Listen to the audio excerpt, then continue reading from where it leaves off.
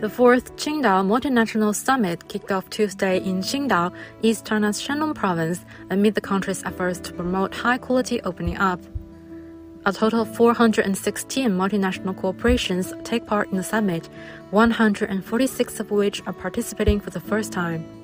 Themed multinational corporations in China, the summit features a range of activities, including multinational corporation symposiums and closed door meetings on policies organized by ministries and commissions. And sharing is the most important. When it comes to business, to be able to come over to China, to be establishing businesses is highly important. It's really necessary.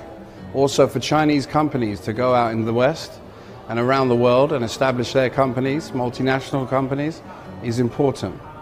Uh, especially in this day and age, it's, in, it's imperative that we keep sharing and we keep exploring opportunities. 啊，这个大型的头部的公司的领导人在这里跟他们聊一下，说在中国 咱们后面的这个发展规划，这些大企业是怎么考虑的，战略的发展方向是什么？呃，我们也想从由此来探讨一下，就是我们公司以后在中国的一些规划和投资发展的一些计划。Since its inception in 2019, the summit has been serving as an important platform for dialogue, exchanges, and practical cooperation. A total of 195 foreign investment projects have been inked during the first three summits, with a combined investment of 27.42 billion US dollars.